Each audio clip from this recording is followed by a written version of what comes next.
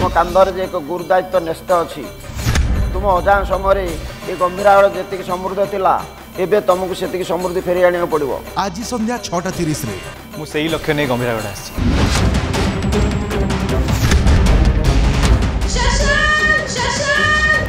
ଗମ୍ଭୀରାଗଡରେ କଣ ଏକାଠି ହେଇପାରିବେ ଗୌରୀ ଶଶାଙ୍କ? ରଖିଲେ ସିଏ ମାରିବ କିଏ? ଆଜି ସନ୍ଧ୍ୟା ଛଅଟା ତିରିଶରେ। କେବଳ ତରଙ୍ଗରେ।